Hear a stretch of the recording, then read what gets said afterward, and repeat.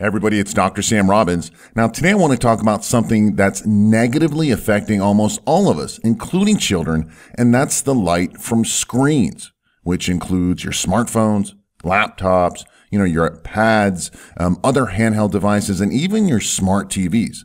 Now, not only is that strong, bright light from such devices just bad for your health, bad for your brain waves, your hormones, and of course your sleep, but that blue light in particular can be very damaging and in fact toxic to your eyes. Now, scientists have discovered that the blue light emitted from such screens can actually lead to macular degeneration, which is one of the leading causes of vision loss. Now, the blue light appears to damage retinal cells. In fact, the retinal degenerated toxicity by the blue light is in fact universal and it can kill any cell type.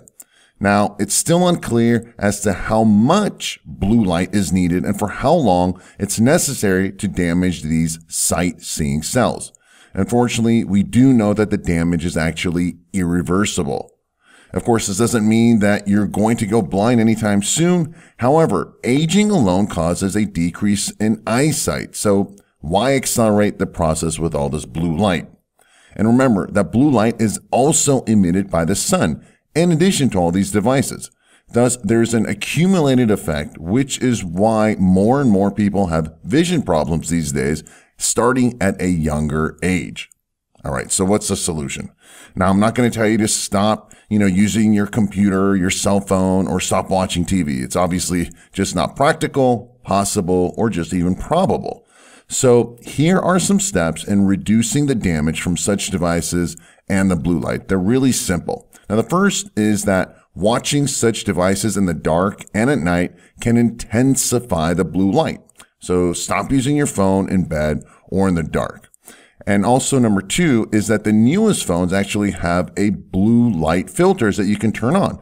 Whether it's an iPhone or Android, all have such a feature. Just make sure you turn it on, especially at night when the sun goes down.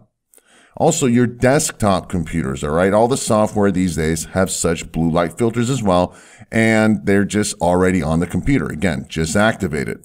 You should also install blue light filter software and apps such as f.lux. And this is one I've used on my computer for a few years now. Basically, when the sun goes down, it automatically gets activated and turns off the blue light from your screen. It's a free program and I have the link below under the description area. Also, I suggest wearing these blue blocker glasses at night. They're good for your eyes and sleep. Now, this way you can also watch TV and not get hit by all that blue light. And you can use these blue, um, get these blue blocking glasses at Amazon. And I have a link below to the one that I use. It's super inexpensive and it's really easy. Ultimately, you want to reduce some of the screen time as well. And this is especially important for children who seem to be glued to their iPads these days even if it's educational material and videos for the kids, it's still unhealthy for their eyes, brain waves, and hormones.